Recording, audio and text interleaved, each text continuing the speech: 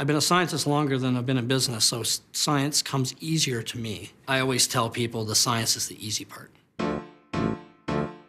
I guess it's a bit like an actor doing an audition. You know, you, it can be all over in the first few seconds. So you need to go in there, be businesslike, be sciency, but not too sciency. You got to catch their interest really fast.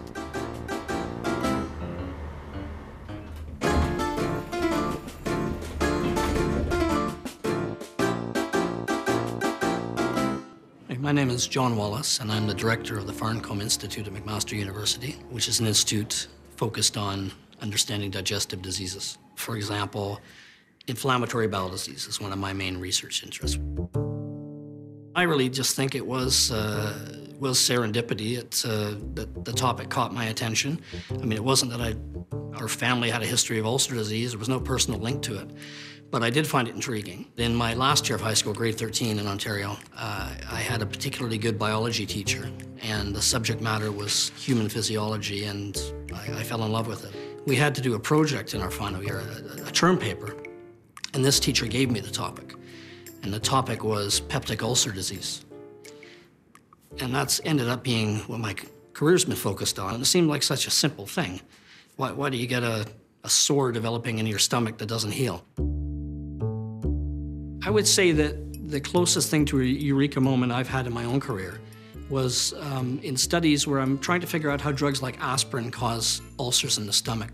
The dogma at the time was that ulcers form on the inside of the stomach, where the acid is, and that the acid is doing all the bad stuff. And what we found was, by using a microscope and focusing down on very, very tiny blood vessels in the stomach, we actually found that the very first event triggered when you give aspirin is that the white blood cells circulating in our blood vessels start to stick to the lining of the blood vessel and they start to attack the lining of the blood vessel. So the very first damage actually occurs in the blood vessels, not on the inside of the stomach. The ulcer actually gets forms from the inside out. You know, I think we were all sitting there thinking, gosh, it sure looks like there are more cells sticking. And then suddenly, bam, a whole whack of them started sticking everywhere, and there was no two ways about it. It was a real event, and we all just went, well, I won't say what we actually said, but it was a it was a holy moment. I think having broad interests that range outside of science is, is a, an advantage to any scientist. Certainly, the, we need business skills in science in that we run our own laboratories pretty much like an independent company.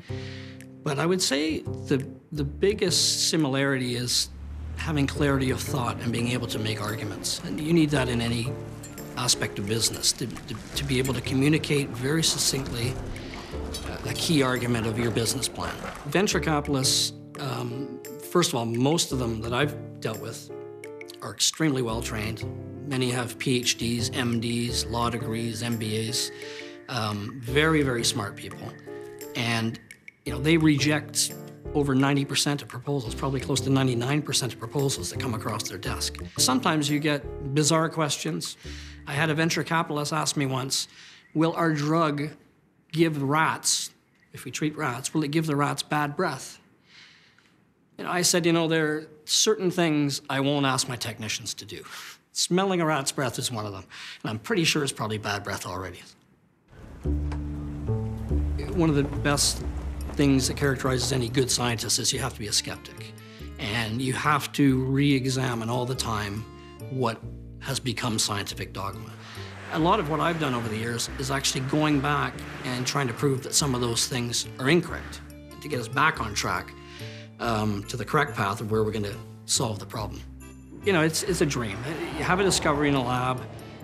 There are very few discoveries of all those little puzzles we solve where you might actually affect human health. So to get this close, or I'm totally convinced that the drug we're developing is going to be a major breakthrough for arthritis. And we're that close.